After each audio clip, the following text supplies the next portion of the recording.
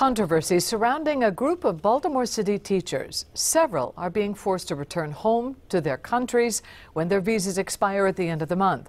Now, this after the group came to Baltimore years ago to fill highly needed teaching uh, areas.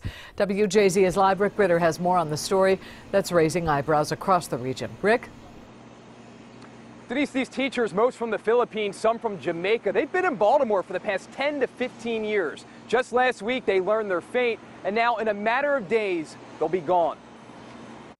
I think it's really criminal what they're doing to, to good people. Emotions are running high across Baltimore City. 25 public school teachers who called the inside of these doors home for more than a decade are being ripped away from their livelihoods. It's sad it's, it's sad. It shouldn't be happening, especially for teachers who's here for our youth. The group of teachers, almost all from the Philippines, came to Baltimore years ago as part of a massive recruitment effort to fill high-need teaching positions.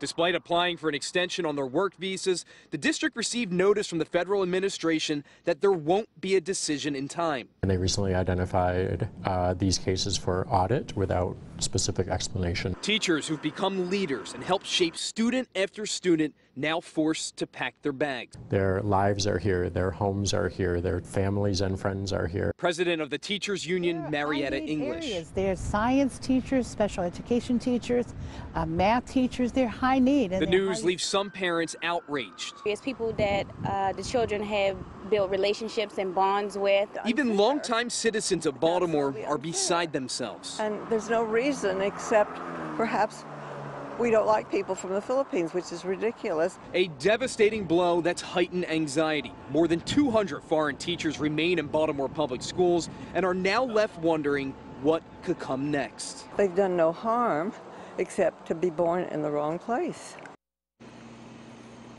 Denise, some good news. I'm told when and if these teachers return, an agreement has already been signed. They will return to the same exact positions with the same exact pay.